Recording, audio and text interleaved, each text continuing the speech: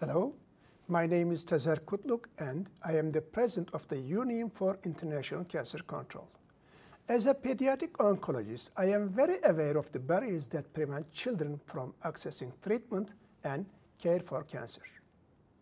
Many people think that children don't get cancer. This is not the case.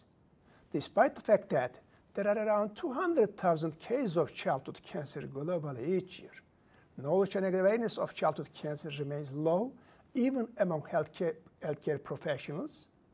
Sometimes early warning signs of childhood cancer are confused with other more common childhood illnesses. This means that often children are treated for other conditions and only receive a cancer diagnosis very late, often too late. This is why UICC, in partnership with the International Society of Pediatric Oncology and the International Confederation of Childhood Cancer Parent Organizations, has launched a signs and symptoms campaign to improve the knowledge and health workers of common early warning signs of childhood cancer.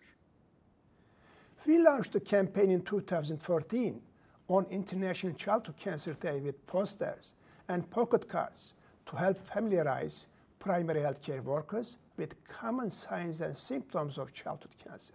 This year is scaling up the campaign we have developed a series of talking head videos narrated by doctors, a nurse, a cancer survivor, and a parent.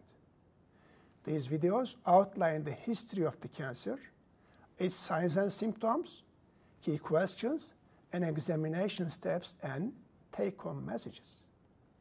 UICC is very proud to partner with the leading childhood cancer organizations, SIOP and ICCCPO, in this effort. Thank you.